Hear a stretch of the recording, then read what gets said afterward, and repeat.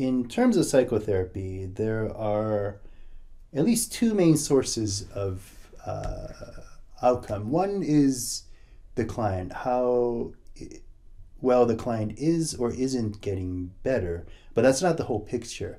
And who you see as a therapist affects how well the client, on average, that is not an individual client, but how on average clients do with that particular therapist. And so we try to see what percentage of the effect that we're seeing in any client can be attributed to the client and what part can we attribute to the therapist and try to tease that out. And then by using HLM, we could compare the proportion of that effect by the therapist across different therapists. And we could see that some therapists, on average, the effect is small. Some therapists, on average, the effect is large. And so HLM allows us to see the differences, on average, how therapists do with their clients. We have a client coming in with this severity and ends up here.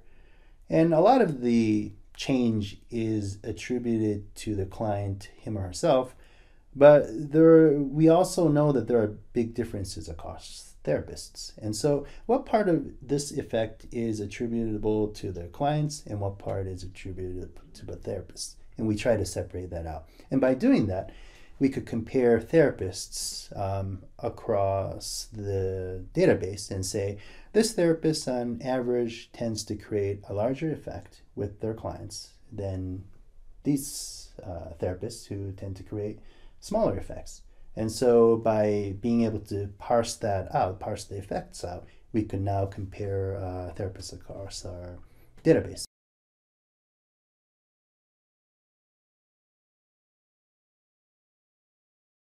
Yes. Uh, what it tries to do is it it's a statistical thing, but it allows for a benefit of the doubt effect at the therapist level. So, for example, let's say therapist A only saw three clients, and you know he or she did on average extremely well or extremely poorly, but that could be out of chance. But the more clients that the therapist sees, it averages out quite well. And so you have more confidence in the therapist's average effect.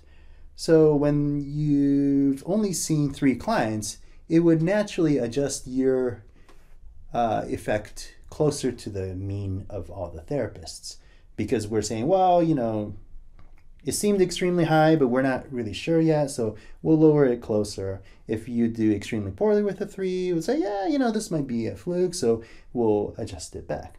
But if you have 50 clients and you're doing extremely well, well, we have pretty good confidence that you're actually doing quite well. So we're not going to lower or adjust your uh, average closer to the mean of therapists. And same with if you do poorly with 50 clients.